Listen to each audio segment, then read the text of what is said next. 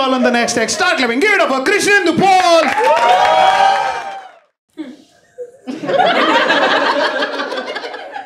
मैं बहुत दूर से आया हूँ आपको, चुटकुले सुनाने मैं नॉर्थ ईस्ट से आया हूँ गाइस आसाम से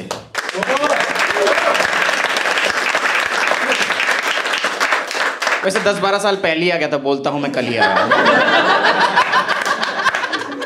When I came from the northeast, I settled in the spiritual capital of India. Bharat की आध्यात्मिक राजधानी जिला गुड़गांव हरियाणा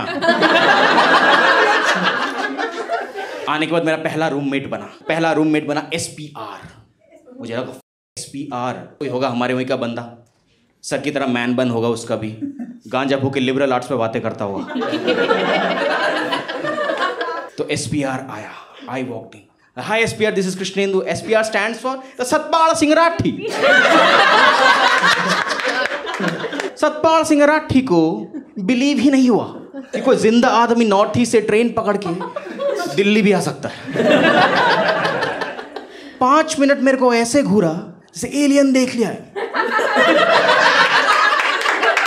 भाई तू नॉर्थ ईस्ट से आ रहा है भाई तू सच में नॉर्थ ईस्ट से आ रहा है नॉर्थ ईस्ट ट्रेन जाती है।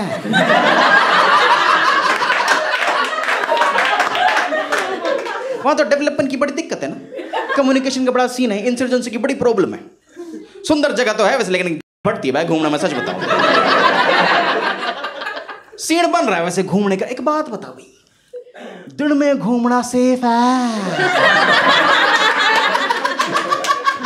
और साले तो खुद गाजियाबाद से।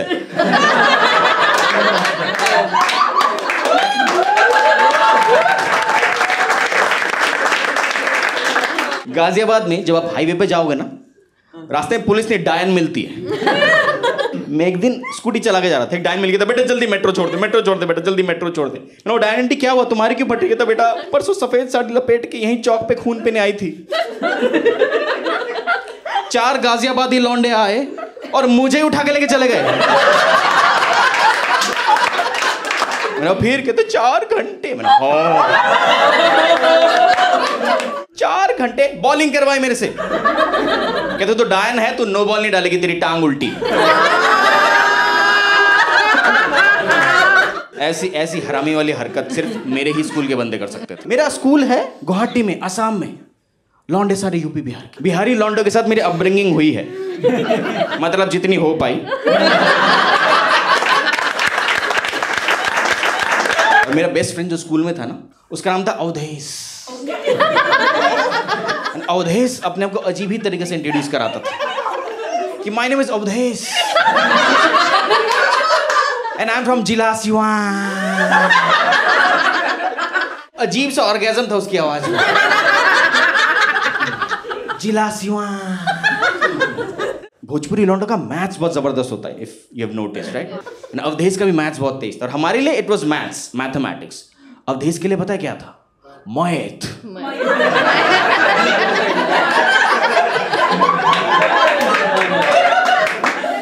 मैथ ये लाइक क्या कर रहा है? मैथ्स प्रैक्टिस कर रहा अवधेश को पूछते, क्या कर रहा? मैथ बना रहा है घंटा में डेढ़ सौ को मैथ बना है पढ़ के पाए हो गए बोला, तू तीन सौ को मैथ बना कैसे रहे तेरे पापा है क्या एनसीआरटी में? केवी में 12 साल 12 साल ये पढ़ाया गया कि भारत की राष्ट्रभाषा हिंदी है। इतनी हिंदी पढ़ी मैंने, इतनी मेहनत करी हिंदी में। हमको शेक्सपियर की हेमलेट भी हिंदी में पढ़ाई थी। दिल्ली आने के बाद पता चला, भारत की राष्ट्रभाषा पंजाबी है। इत्थे उत्थे कित्थे घंटा को समझ नहीं आ रहा मेरे। तीन दिन तक तो मेरे को ये लगता रहा कि दिल्ली का सीएम हनी सिंह है। हमारे नॉर्थ ईस्ट में ऐसा नहीं होता। असम में पंजाबी दिखते ही नहीं, मैडम। नहीं, दिखते ही नहीं, मैडम। हमारे वहाँ इतने कम पंजाबी हैं, इतने कम पंजाबी हैं। इक्कीस साल की उम्र तक मैंने सिर्फ़ दो ही पंजाबी देखे थे। सिर्फ़ दो। एक तो डॉक्टर मनमोहन सिंह, जो सिर्फ़ दिखाई देते थे। उनकी आवाज़ सिर्फ़ एक ही इटालियन औरत ने सुनी। और दूसरा डॉक्टर सनी देवल जो 15 अगस्त और 26 जनवरी को चिंगाड़ते हुए पाए जाते थे। जी सिनेमा पे। याद याद है अर्ली टू के वो दिन? जब गदर आती थी। जी सिनेमा में तिरालीस बार। मेरे पापा सुबह सुबह उठ के गदर लगा देते थे। रात तक मेरे अंदर तारा सिंह की आत्मा घुस चुकी थी। मैं बाप के कमरे में घुस जाया करता था। बाबा। बाबा, ये क्या सियासी खेल चल रहा है, बाबा? बाबा, मैं इंडियन हूँ, इंडियन हिंदुस्तान, जिंदाबाद। चलो, उनका सर हाथ ढाई किलो का, मेरी पूरी बॉडी ढाई किलो की पापा उठने को राज़ी नहीं। बस ज़ोर से चला, अशरफ अली! पापा उठ गए। सामने से बंदा दिख रहा है, चप्पल पीछे से लग रही उनके पास एक बूमरैंग चप्पल थी। मैं ज़ोर से चला हिंदुस्तान जिंदाबाद! और भूतनी के चुपचाप जाके सोचा मैं आर्मी में हूँ।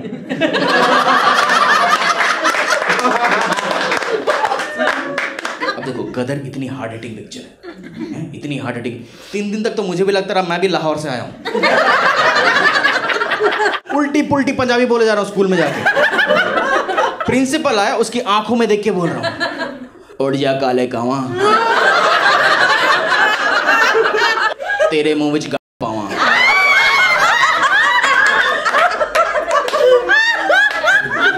तो पहले तो मेरी तोड़ी गई। फिर क्या होता? बंगाली बच्चों को कभी कभी स्कूल में बांग्लादेशी बांग्लादेशी बोल के छेड़ देते क्योंकि उनमें से कुछ होते भी हैं। तो एक लड़के ने एक लड़की को बांग्लादेशी बोल के छेड़ दिया। तारा सिंह खड़ा हो गया। ओए खोते आते पत्थर ओए बांग्लादेशी है। ओए बांग्लादेशी है। ले हो गई सिखड़ी।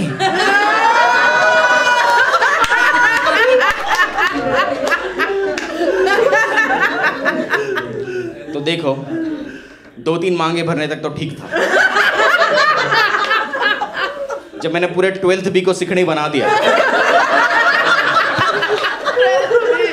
तो बात थोड़ी बढ़ गई।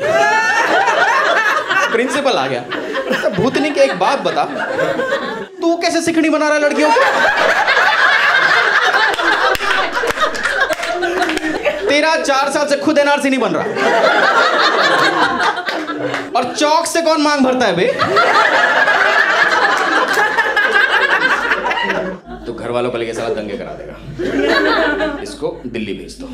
फिर मैं स्कूल के ट्वेल्थ के बाद दिल्ली आया, रियल दोस्ती, रियल इज़्ज़त, रियल प्यार मुझे दिल्ली वालों से मिली है। मेरे पंजाबी दोस्त बने, दो बेस्ट फ्रेंड्स बने, एक लड़का और एक लड़की। दोनों गुरप्रीत। गुरप्रीत की दादी से मेरी बड़ी अच्छी दोस्ती हो गई। तो दादी कहती पुत्र एक गलदस मैनू। तू कितों आया सी? हम्म। मैं दादी मैं तो आसाम तो आया सी। पर पुत्र तू तो बंगाली है मेरे दादाजी भी तार काट के आए थे उन्नीस सौ में। ईस्ट पाकिस्तान से। नाव बांग्लादेश। बट अच्छा तो पुत्र तुम भी अमीर थे। तो मैं अपनी दादी के पास गया ठीक है? और मैंने बंगाली में पूछा कि दीदा আমরা বড় छिलम ছিলাম নাকি मतलब हम भी अमीर थे क्या? दादी कहती कान से आँसू निकल रहे हैं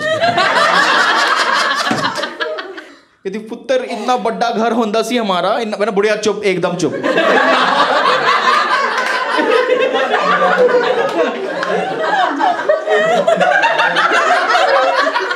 फील में आके पंजाबी में बोल, तुम बंगाली हो? यार बंगाली और पैसा एक सेंटेंस में सूट भी नहीं करता। हम लोग कॉम्युनिस्ट लोग हैं यार।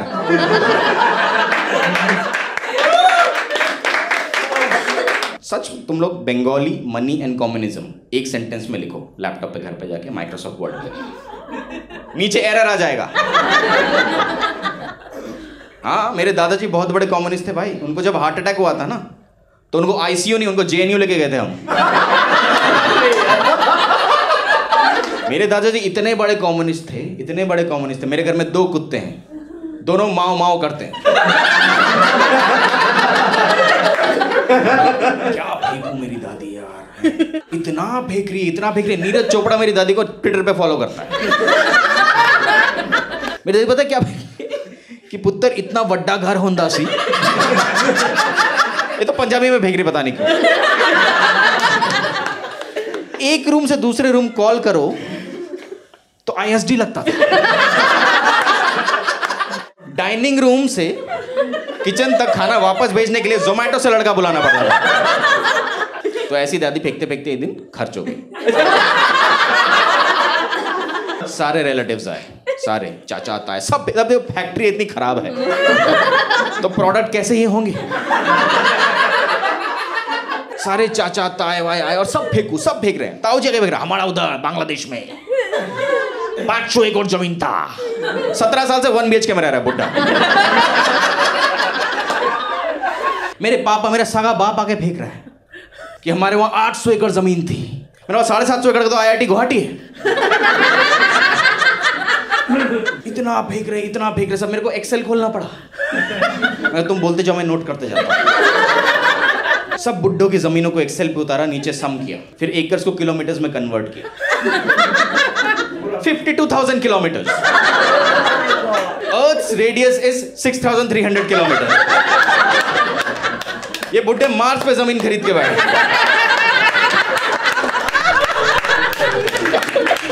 मेरा गाँव था जैसे गुवाहाटी में और फादर की पोस्टिंग दिल्ली में थी, जब मैं छोटा था। वैसे मैं ये बात बोलता नहीं कि जब मैं छोटा था।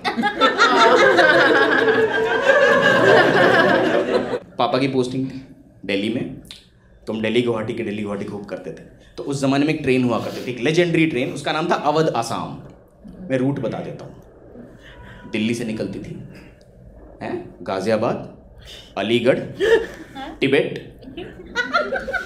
China, Manchuria, Russia, फिर घुसती थी बिहार। और फिर चार साल बाद पहुँचती थी आसाम। इतना लंबा रूट होता था, इतना लंबा रूट होता था, मेरे को ट्रेन में दो बार प्यूबर्टी आई। और ठीक साढ़े ग्यारह बजे एक आवाज़ आती थी ट्रेन में। आई गेस तुम लोग को याद होगा। खाना बोलिए, खाना। खाना बोलिए, खाना। तब मैं छह साल का था। मैं पता नहीं कि कॉमेडियन का नाती बन रहा था। मैं जाके उसके सामने खड़ा हो गया तो मेरे को देख बोलता है, खाना बोलिए, खाना। खाना। का का बदतमीज लोग को माँ बाप छोड़ देता है, संस्कार कुछ नहीं दिया है, बदतमीज, लौंडवा सब। तो पापा ने देख लिया। और बूमरैंग वाली चप्पल फिर से। और अब तो मुँह पे लग रही है। तो वहाँ पे दो लौंडे बैठे हुए थे। या तो कहीं सरकारी एग्ज़ाम दे के आ रहे थे, या तो कहीं सरकारी एग्ज़ाम देने जा रहे थे।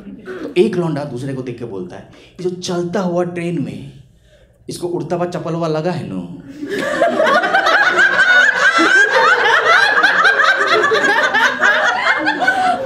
जानते हो इस पे कहा बन सकता है? कहा मोएत